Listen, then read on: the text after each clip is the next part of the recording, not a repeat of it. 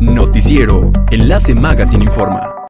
En 1563, hoy hace justo 452 años, la ciudad de Durango fue trazada por y regla, conforme a las ordenanzas de la época.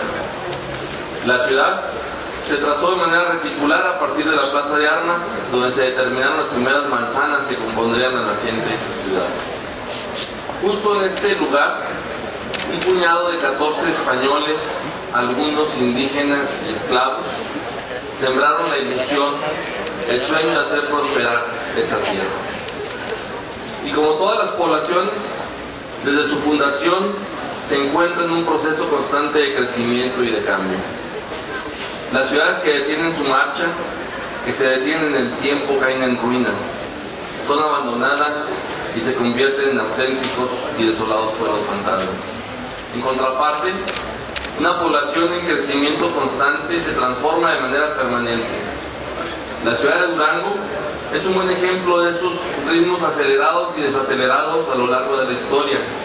Y la arquitectura es un fiel, mudo testigo de esos cambios en la vida de la población.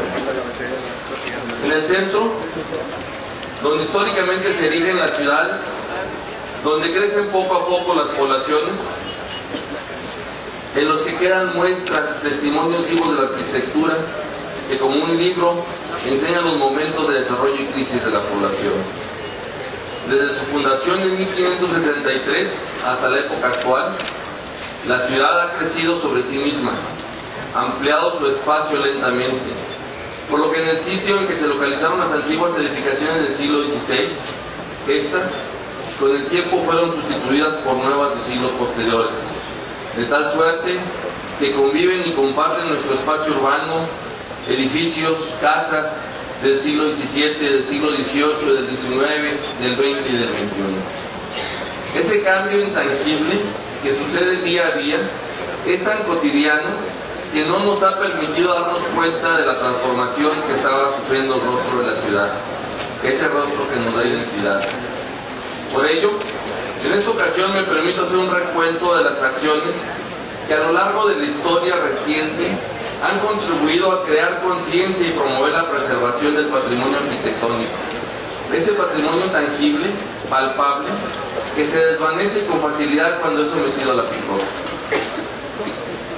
La primera acción que mirando hacia el pasado buscó fortalecer el presente lo realizó el llamado Comité Conservador de las Bellezas Históricas, Arqueológicas y Naturales, promovido por el general Elpidio G. Velázquez, que permitió que durante la década de los 40 surgiera en la ciudad el llamado estilo neocolonial, tan popular y a la vez tan desconocido que ha ido desapareciendo frente a nuestros ojos en las últimas décadas.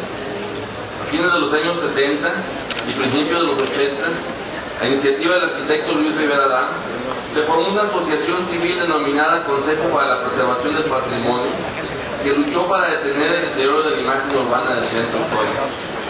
Fruto de esa lucha, detonada por la demolición de uno de los edificios emblemáticos y simbólicos de la ciudad, el antiguo Club Durango, en 1982 el gobierno federal emitió el decreto que creaba la zona de monumentos históricos de la ciudad de Durango, con lo que se lograba un primer y muy importante paso en la protección del patrimonio cultural. En 1985 se promulgó el primer reglamento municipal de imagen urbana del centro histórico y con ello se inició el retiro de anuncios, fotos y marquesinas.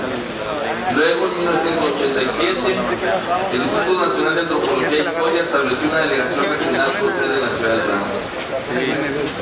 En 1990 se realizó la primera intervención para conservar los barrios tradicionales, en los barrios de Calvario y de Nalco. Casi 10 años después, en 1999, se recuperó la imagen del entorno del Templo de Santana y se construyó la primera calle peatonal del centro histórico. A partir de 1997, desde Durango Proyección 21 se iniciaron los trabajos para la elaboración del plan estratégico de la ciudad. El día se definió como una de las estrategias para el impulso de Durango, la conservación del patrimonio cultural y en particular del centro histórico. A partir de allí, se inició gradual pero permanente trabajo de conservación de la imagen urbana. El primer impulso se logró en 2003 con la recuperación parcial de la traza de la Plaza de Armas del principio del siglo XX y el cableado subterráneo de este espacio. Luego se continuaría con la definición y características del corredor Constitución que buscó unir el Jardín de Santana con la Plaza de Armas y luego con las Alamedas.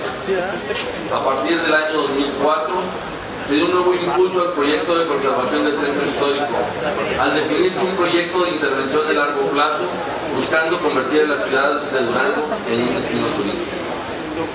Dentro de las acciones señaladas, se estableció la necesidad de la continuación sistemática del cableado subterráneo, mejoramiento de fachadas, la conservación de edificios, la iluminación de inmuebles y remates visuales, así como la mejora y ampliación del equipamiento para turismo.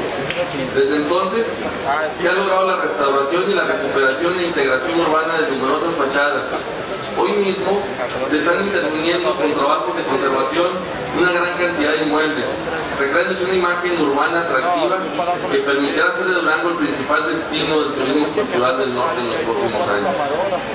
El rescate y conservación del centro histórico es una tarea que requiere un esfuerzo constante y permanente de todos, sociedad y gobierno. Por ello celebro que el gobernador Jorge Herrera Caldera y el presidente municipal Esteban Villegas Villarreal estén encabezando estos esfuerzos que sin duda requerirán aún de muchos años de trabajo, pero los auténticos y benéficos resultados solo se podrán alcanzar si tenemos la certeza de la continuidad. Porque más allá de las propias administraciones, lo que más importa, como lo han demostrado las pasadas generaciones, lo que más importa es Durango. Muchísimas gracias. Enlace Magazine, Conexión entre Culturas, informa.